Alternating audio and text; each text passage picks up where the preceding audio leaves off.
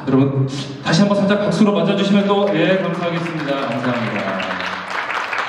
네, 안녕하세요. 역살 한번 잡히시다 연출을 맡게 된 여우입니다. 오늘 드디어 첫 방인데 긴장도 되고 되게 설레는데요. 저희 현장에서 되게 좋은 작품 만들려고 열심히 하고 재밌게 촬영했으니까 오늘 첫 방송 많이 사랑해 주십시오. 감사합니다. 네. 네, 안녕하세요. 김하늘입니다. 어, 멱살 한번 잡힙시다에서 프로 멱살로 네, 멱살 한번 잡힙시다라는 프로를 진행하는 기자 역할을 잡았, 아, 맡았습니다. 감사합니다. 네, 멱살 한번 멱살 한번 잡힙시다 해서 나쁜 놈들 수갑채 먹는 강력반 형사 김태형 경위 역을 맡은 염수입니다. 반갑습니다. 네, 안녕하세요. 재벌이세 소설가이자 서정환 남편 서루재 역을 맡은 장승조입니다. 반갑습니다. 그 대본을 읽었을 때 어, 시청자들도 마찬가지겠지만 저도 그 매회 좀 반전, 재미 이런 것들이 되게 많았고요.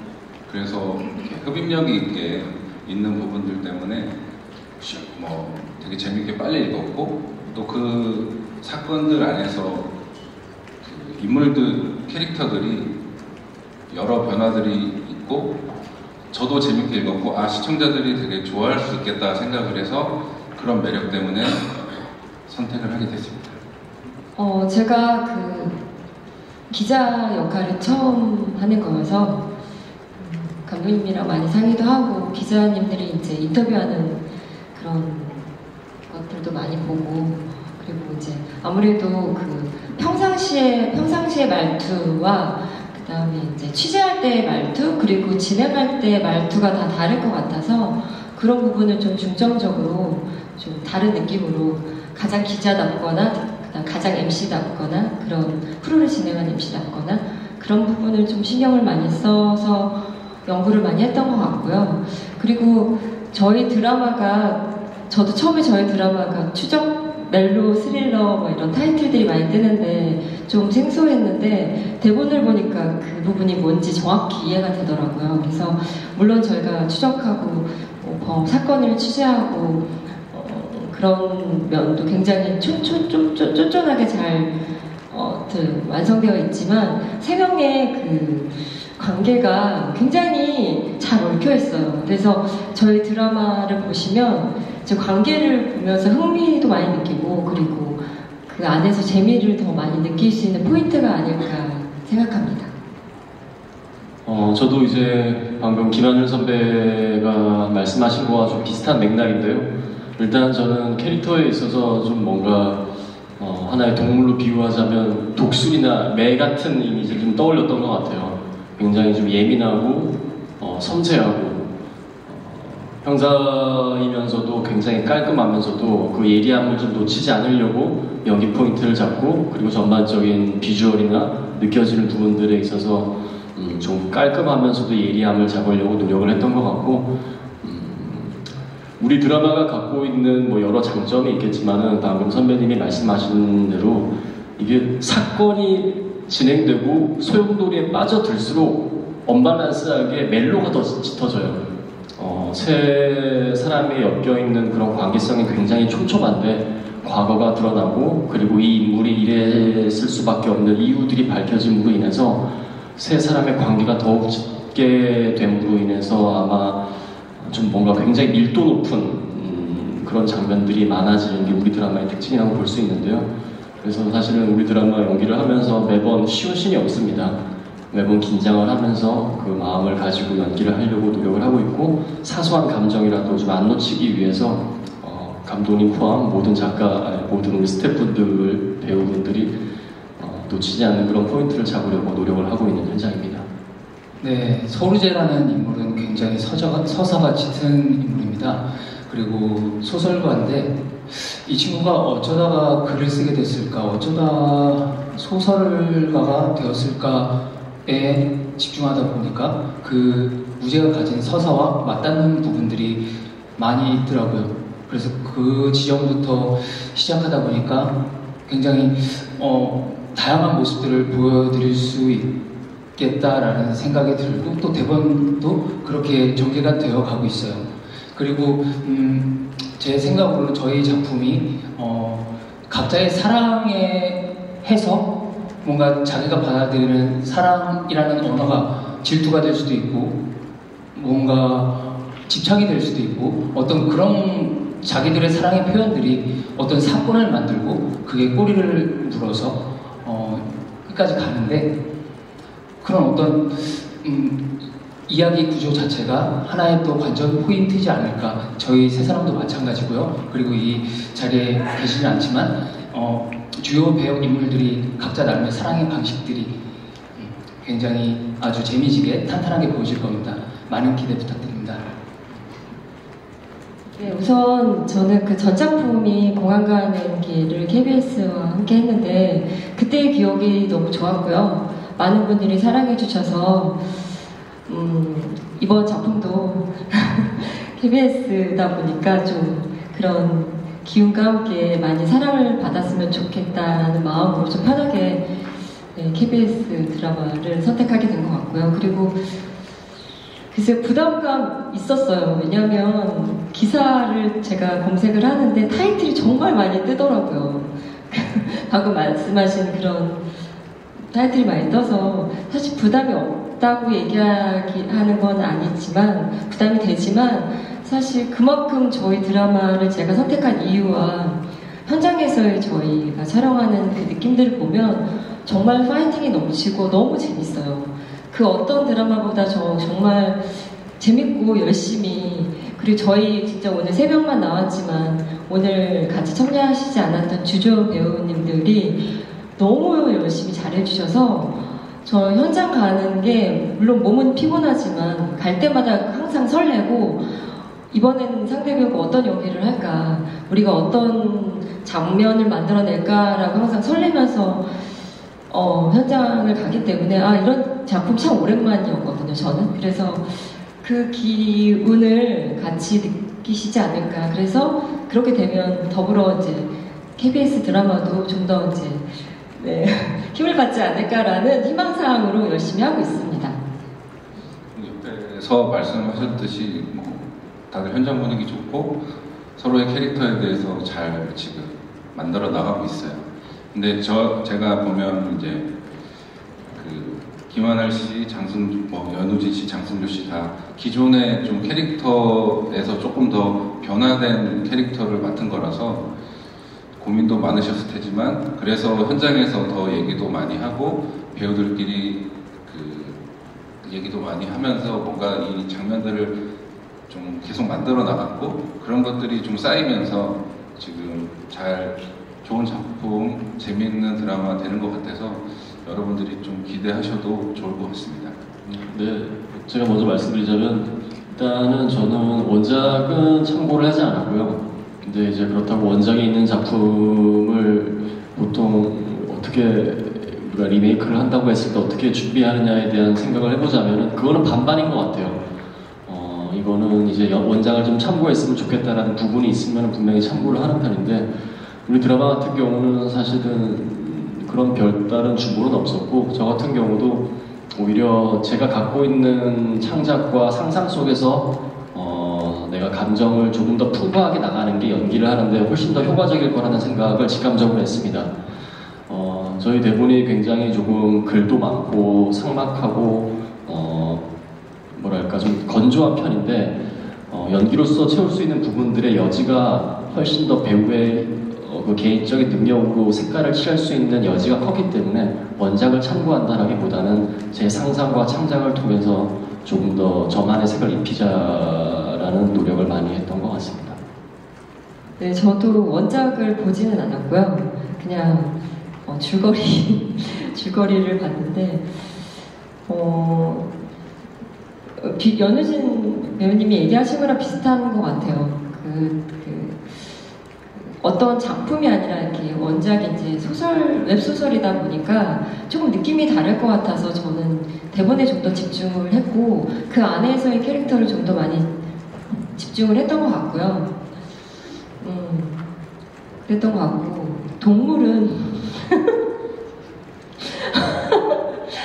아, 어, 캐릭터를 드라마 만을 보자면 한 번 잡으면 놓지 않는 그런 열혈 기자로 나오기 때문에 저도 아마 그 맹수들이 아닐까.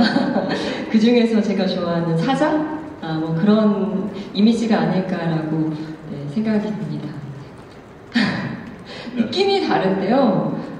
그것이 알고 싶다라는 프로도 봤고요. 그 보면서 근데 느낌은 좀 많이 다르지만 그렇게 이렇게, 이렇게 파고드는 네. 제 나름대로는 사실 되게 많은 자료들을 좀 보긴 봤는데 네, 제목들을 좀 얘기하기가 아, 네. 네, 어, 저는 그냥 너무 궁금해서 원작을 음, 중간 정도 읽은 것 같습니다. 네, 너무 궁금했어요. 네. 뭐 자- 잘못하신 게 아닙니다. 네, 네. 아, 어, 그 원작을 읽으면서 저 서울이라는 인물은 결이 완전 달라요. 네, 그리고 그 이야기 구조 자체도 다르고, 어, 근데 거기서 얻을 수 있었던 정보는 서정원이라는 인물의 사회적 위치, 네, 입지 그런 것들을 어, 그런 것들이 구체적으로 묘사되는데 그 정보들을 얻을 수 있었어요. 그래서 내가 이 여자를 어떻게 대하고 어, 얼마만큼 어, 생각하고 품을 수 있을지 또 이 드라마 안에서 내가 이 사람을 음, 어느 정도로 이렇게 뭐라, 뭐라고 해야 될까 어, 떠받들고 살아야 되나 뭔가 어, 그런 어떤 어, 기준점을 잡을 수 있었던 계기가 되었었던 것 같고요. 그리고 우재라는 인물을 어, 어떤 사물에 비유하자면 만년필 같다라는 생각을 해봐요.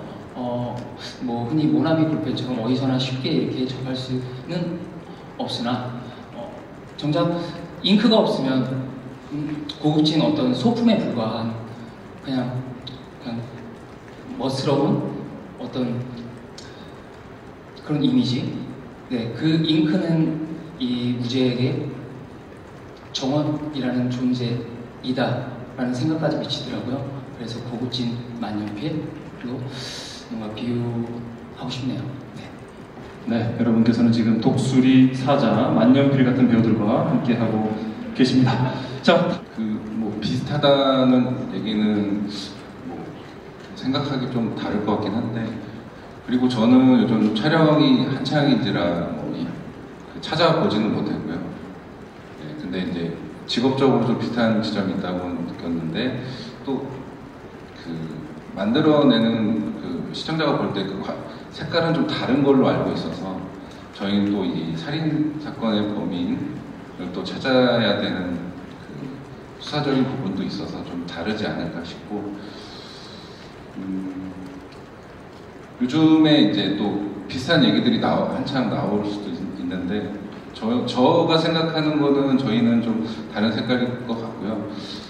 뭐 저희만의 색깔을 잘 이번에 드러내서 좀 자, 좋은 잘 좋은 작품 만들었으니까 좀 사랑해 주셨으면 좋겠고 또뭐그 김하늘 씨가 이제 8년 만에 아까 나왔다고 얘기들을 많이 하셨는데 8년 만에 나온 것보다 저는 이 작품의 그 기자로서 이 캐릭터를 연구를 많이 하셨고 고민하시고 현장에서 열심히 하셨기 때문에 그런 부분들이 시청자들이 되게 좋아할 거고 또 이 세 명의 관계에서의 나타나는 그 멜로들 예전에도 좋은 작품 하셨듯이 이번에도 좀 충분히 기대하셔도 좋을 것 같다는 생각이 듭니다. 시청률은 그잘 생각을 안 해봤고요. 하늘 씨가 잘 생각하셨을 것 같아서 네, 넘기겠습니다. 네, 가장 어려운 답변은 김하늘 배우께 넘기시는 우리 감독님. 음, 제가 이 작품을 처음 봤을 때 보통 그 장르물이나 약간 이렇게 스릴러 이런 그런 장르의 작품을 보면 아 멜로는 좀 배제하는 게 좋지 않을까라는 생각을 한 편이었던 것 같아요. 그냥 딱 장르적인 부분만 보면 더 좋지 않을까? 근데 저희 드라마를 보면서 그 생각이 바뀌었어요.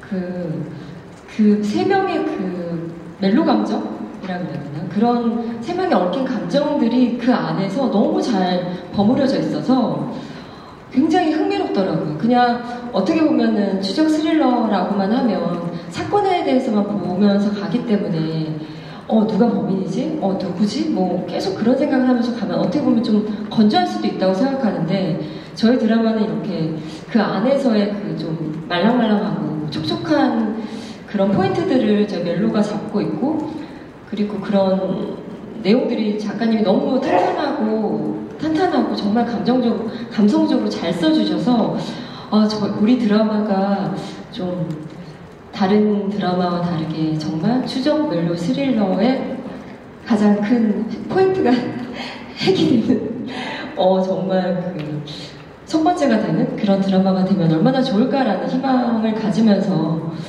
아까 질문이랑 맞는 대답인지 모르겠지만 그런 부분에 대해서 좀 저희 드라마가 포인트가 있는 것 같아요. 그리고 좀 저희 소개에서도 나온 것 나온 것처럼 전 남친 이고 이제 사랑하는 데 사랑했는데 헤어졌던 전 남친이고 어떤 이유에서든 그리고 지금 사랑하는 남자가 있고 근데 사건에 얽혀서 전, 전 남친을 만났을 때 그 느낌이 굉장히 묘할 것 같아요. 일적으로 이제 만나는데 근데 또 제가 그 안에서 사건 안에 이제 있기 때문에 그 안에서의 뭐 그리고 또 직업도 형사와 기자 뭐 그러니까 그거를 풀어가는데 굉장히 흥미로운 지점이 그 안에 있지 않을까라는 생각을 하고요. 그리고 시청률은 전 두 자리 숫자를 봤으면 좋겠다라는 희망이 있습니다. 네. 감사합니다. 사실 우선 그 기사 제가 봤거든요. 어, 사실 진짜 부담스러운데 우선 김남준 선배님이 나오시는 원더풀 월드가 시청률이 너무 잘 나와서 되게 안심이 되고 오히려 좋았고요. 아까 얘기하신 것처럼 좀 비슷한 느낌이 있다고는 하셨지만 저희는 색깔이 많이 또 달라서 저희 나름대로 장점이 있기 때문에 또 그리고 유율도 다르니까 채널도 다르고 그래서 또 원더풀 월드도 많이 사랑해 주시고 그만큼 또 힘을 받아서 저희 드라마도 많이 사랑해 주셔서 다 같이 두 자릿수를 가서 저희 이제 드라마들이 다 좀 더 이렇게 네, 시청률도 많이 좋아지고 좀 더 풍요로워지면 어떨까라는 생각을 하고 있습니다. 네. 네, 비슷한 이야기더라도 그려내는 방법이 다르기 때문에 서로 오히려 윈윈하는 관계가 될 수 있다 이런 말씀이신 것 같아요. 네. 아까 말씀드렸듯이 이 작품의 매력 중에 하나가 좀 물론 탄탄한 대본이 있지만 그 안에 이제 계속 보다 보면 이 캐릭터들에 집중할 수 있을 거라고 생각하는데요.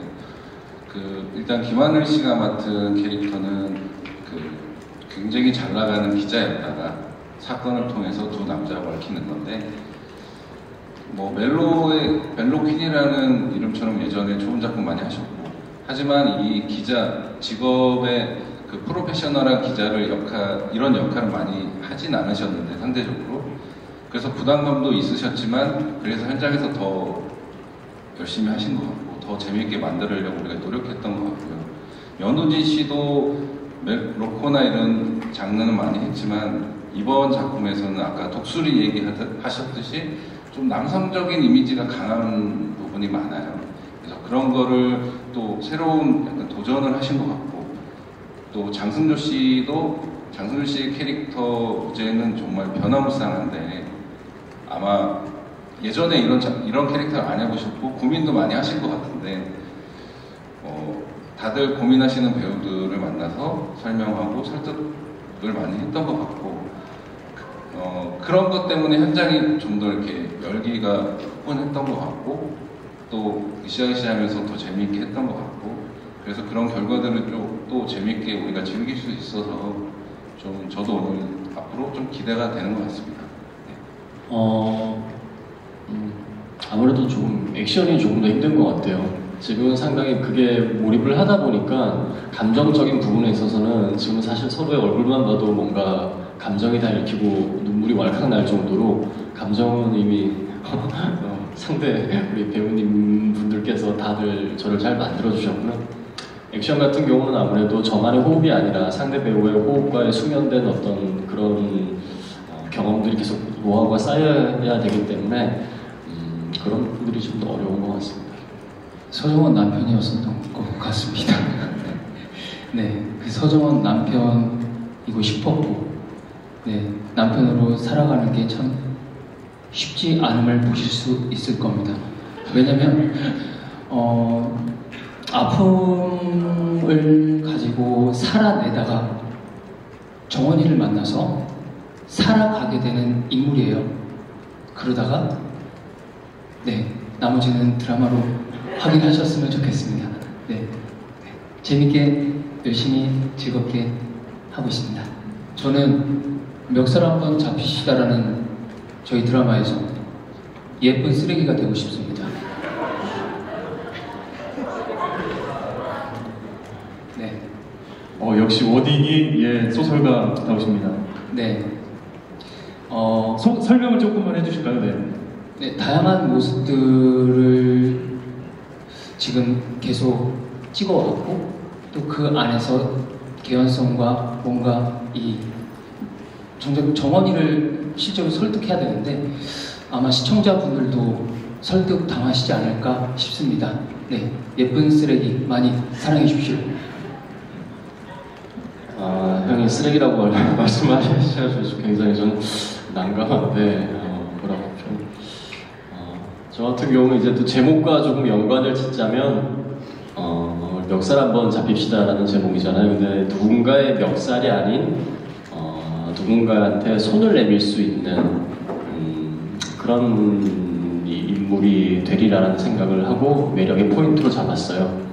우리 드라마 같은 경우가 이제 저 같은 경우는 과거의 트라우마로부터 이 인물의 어떤 시작이 이루어지거든요.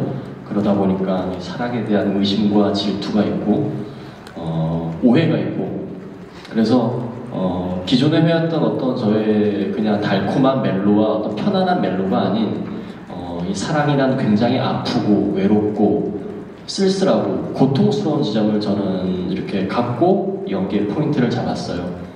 그러다 보니까 굉장히 그 트라우마로부터 못 벗어났는데 이 인물들과 엮이게 되고 사건에 빠져들면서 그런 지점들이 서서히 제 내면의 변화를 일으키고 음, 나중에는 결국은 사랑이란 아픈 것과 힘들고 괴롭다기보다는 아 누군가에게 또 손길이 되고 구원해 줄 수 있는 위대한 가치구나 라는 어떤 생각을 갖게 되고 그 전환점을 갖게 되는데 음, 그런 포인트와 어떤 관계성을 가지고 캐릭터를 준비하고 그런 저만의 김태현의 어떤 매력으로 이렇게 구현해내려고 노력을 하고 있습니다.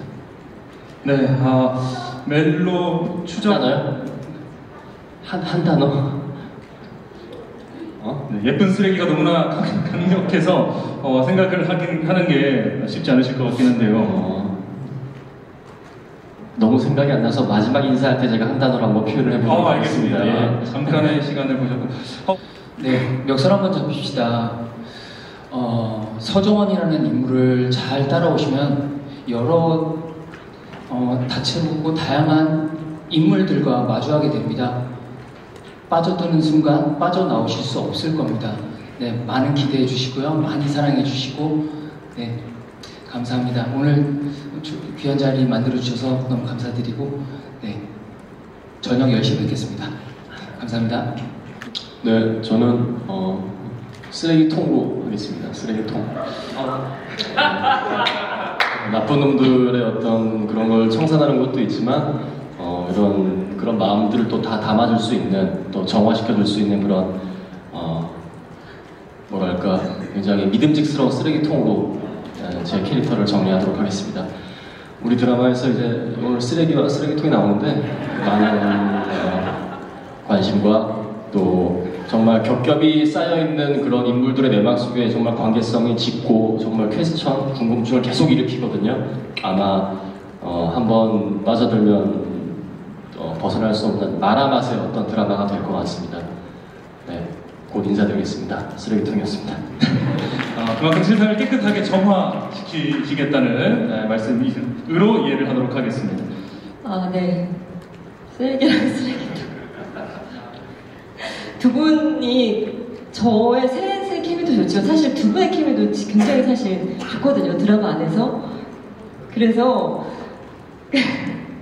예, 그 포인트도 사실 굉장히 재미있을 것 같고요. 그리고 오늘 어, 질문 많이 해주셔서 너무 감사드리고요.